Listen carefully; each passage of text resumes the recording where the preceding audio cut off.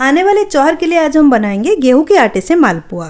दुकान वाले जैसे बनाते हैं चाशनी वाला मालपुआ और मालपुआ जो चाशनी से पूरा भिगी हुई होता है और बहुत रसीला होता है, उसी तरीके से आज हम बनाएँगे। आप इसको देख सकते हैं कितने अच्छे से बनी हुई है। एक को तोड़ के पहले से मैं आपको चेक करके दिखाती हूँ। इसमें चाशनी भरी हुई है और अंदर तक अच्छे से चाशनी गया है।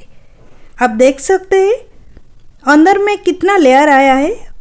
और इसको बनाने के लिए भी बहुत कम इंग्रेडिएंट्स लगता है। तो चलिए रेसिपी शुरू करते हैं। मालपुआ में जो थोड़ा सा मसाला हम डालेंगे, पहले उसका तैयार करेंगे।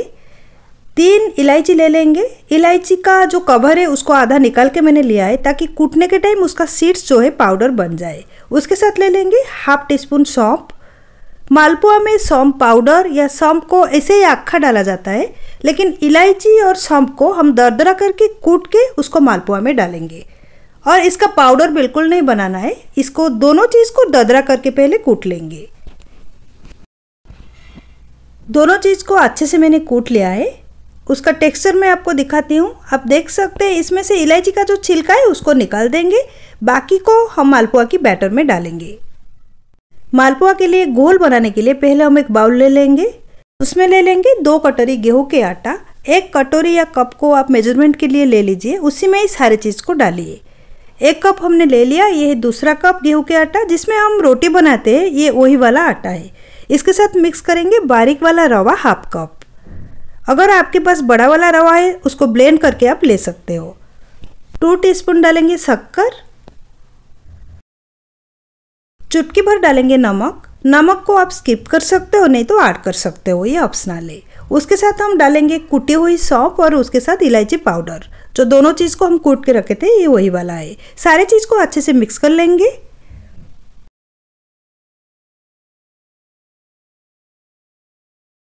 अभी हम इसमें गुनगुना दूध डाल के इसका बैटर बना के तैयार करेंगे। मालपुआ के लिए जो बैटर होता है, वो पोरिंग कंसिस्टेंसी में रहना चाहिए तो थोड़ा थोड़ा करके दूध डालेंगे। और अच्छे से इसको मिलाते जाएँगे, जैसे कि इसमें एक भी लम्स ना रहे। एक साथ ज़्यादा दूध नहीं डालना है, नहीं तो हमारा अंदाज ही चला जाएगा कि कितना दूध डालना है और ये जो बैटर है, पतला बन जाएगा। इसलिए थोड़ा थोड़ा करके दूध डालना है और बैटर बनाते जाना है। और थोड़ा सा दूध मैंने ले लिया है, उसके साथ ऐड करेंगे टू टीस्पून दही। ये फ्रेश वाला दही है। सारे चीज़ को फिर से एक बार मिक्स कर लेंगे। मालपुआ तो बहुत तरह की बनता है, जैसे कि पनीर मालपुआ हो या मैदे की मालपुआ हो, लेकिन ये जो मालपुआ है, शायद सबसे सस्ते में भी बनता है और कम चीज़ में बहुत सारे बन के तैयार होता है।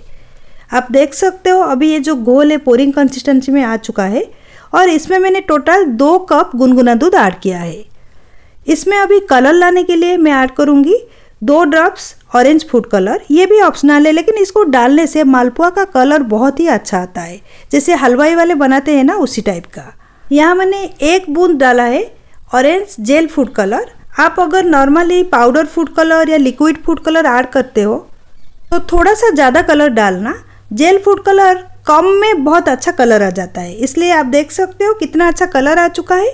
अभी हम अच्छे से इसको थोड़ा सा बीट कर लेंगे।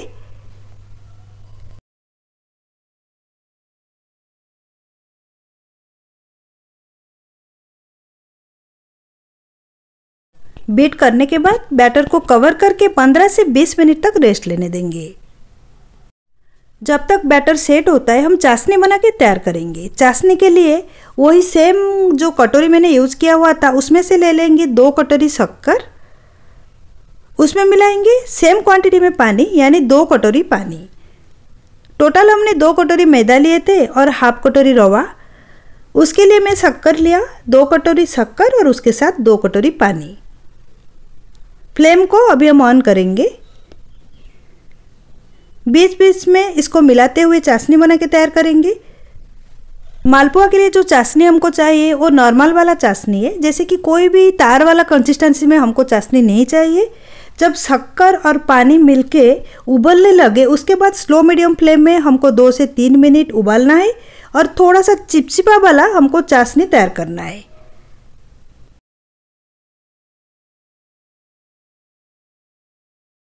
चाशनी को उबलते हुए स्लो मीडियम फ्लेम में अभी तीन मिनट के ऊपर हो चुका है। तो इसको और ज़्यादा उबालना नहीं है। आप देख सकते हैं, ये चुपचुपा कंसिस्टेंसी में आ चुका है। तो अभी इसमें हम ऐड करेंगे दो कुटी हुई इलायची का पाउडर उसके साथ ले लेंगे कुछ केसर की धागे। थोड़ा सा केसर डालने से मालपुआ का जो फ्लेवर है, वो बहुत ही ज़्यादा अच्छा आता है। अभी हम फ्लेम को बंद कर देंगे और चाशनी को एक प्लेट में कवर करके रखेंगे ताकि मालपुआ तलने के बाद गरम चाशनी में मालपुआ को डालना है।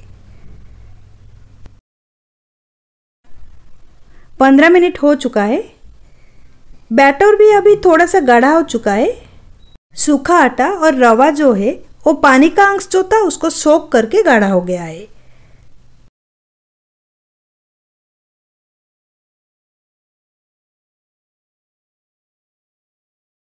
अभी हम इसमें डालेंगे चुटकी भर बेकिंग पाउडर। ज़्यादा नहीं डालना है, बस एक चुटकी डालना है।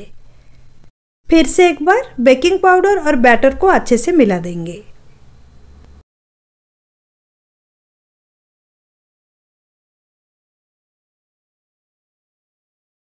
रिफाइंड ऑयल को मैंने गरम किया हुआ है। रिफाइंड ऑयल को बहुत ज़्यादा गरम नहीं करना है। गुनगुना रिफाइंड ऑयल में हम मालपुआ को तलने के लिए डालेंगे। एक बड़ा चम्मच हम बैटर ले लेंगे और एक जगह पे डालेंगे। पहले हम एक मालपुआ को डाल के चेक कर लेंगे, फिर दूसरा डालेंगे। ये छोटा सा कढ़ाई है, इसलिए इसमें ज़्यादा दो या एक ही हो सकता है। बहुत ज़्यादा तो नहीं डाल सकते, नहीं तो मालपुआ आपस में चिपक जाएगा। जैसे जैसे ये सीखता जाएगा, तेल के ऊपर तक आ जाएगा। आप देख सकते हैं, अभी तेल के ऊपर मालपुआ आना शुरू हो गया है।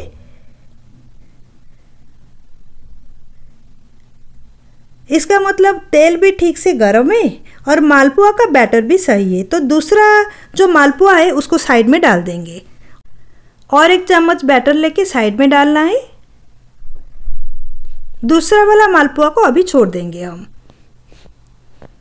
छोटा सा कढ़ाई है। बैटर के साथ चिपक जाएगा, इसलिए मैं उसको पकड़ के रखा था। पहले हमको तेल को गरम करना है। तेल जब गरम हो जाएगा, उसको स्लो करके फिर उसमें मालपुआ की बैटर को डालना है। थोड़ी देर बाद फ्लेम को स्लो मीडियम करके इसको हम तलेंगे। ज़्यादा गर्म तेल में मालपुआ के बैटर को नहीं डालना है, नहीं तो अंदर कच्चा रह जाएगा और ऊपर का कलर जल्दी से चेंज हो जाएगा। तीन से चार मिनट तक हम स्लो मीडियम फ्लेम में इसको फ्राई करेंगे, जब तक इसका कलर चेंज होके ये अच्छे से फ्राई ना हो जाए।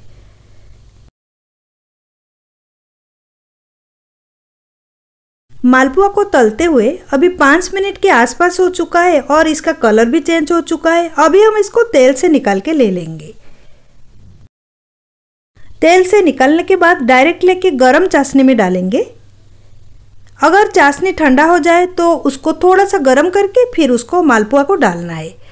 पाँच सात मिनट के लिए चाशनी में मालपुआ को रहने देंगे। उसी टाइम हम दूसरा बैच मालपुआ फ्राई कर लेंगे। फ्लेम को मैंने स्लो कर दिया था। सेम प्रोसेस में हम अभी फिर से दो मालपुआ डालेंगे ऑयल में।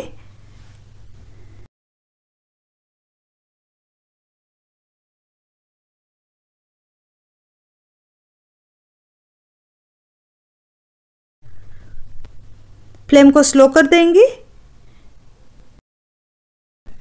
जो मालपुआ को हम चाशनी में डाले थे वो अच्छे से चाशनी को सोख कर चुका है और उसका वेट भी हेवी हो चुका है। जब मैं उठा रही हूँ, पता चल रहा है, पहले फ्राई करने के टाइम में कितना हल्का था, अभी कितना हेवी हो चुका है। दोनों मालपुआ को निकाल के एक प्लेट में ले लेंगे। और दूसरी बार फ्राई किया हुआ मालपुआ को हम चाशनी में डाल देंगे। इसी प्रोसेस में जितना भी हमारे पास बैटर है, सारे के सारे मालपुआ को डाल के इसमें इसी तरीके से निकालते हुए चाशनी से और दूसरी बैच डालना है। इसको भी हम पाँच छः मिनट के लिए छोड़ देंगे। मालपुआ अभी रूम टेम्परेचर में आ चुका है। चाशनी से मैं जो जो मालपुआ को निकाला था, उसको मैं अभी लेके आई हूँ। मालपुआ को थोड़ा सा हम सजा देंगे कटी हुई पिस्ता से। ये ऑप्शनल है फिर भी पिस्ता या कोई भी ड्राई फ्रूट्स अगर स्वीट के ऊपर हम डालते हैं, उसका लुक्स भी ज़्यादा अच्छा आता है और खाने के लिए भी ये ज़्यादा टेस्टी लगता है।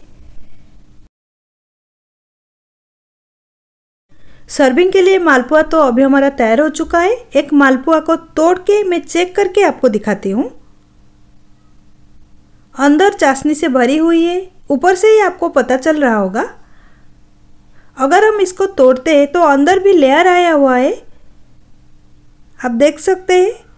और चाशनी पूरा भरी हुई है अंदर तक। इसको हम रेफ्रिजरेटर में रख के दो तीन दिन तक खा सकते हैं। आने वाले चौहर में आप भी एक बार आटे की मालपुआ घर में ज़रूर बनाएँ। देखना बहुत ज़्यादा भी बनेगा और अच्छे से बन के तैयार होगा।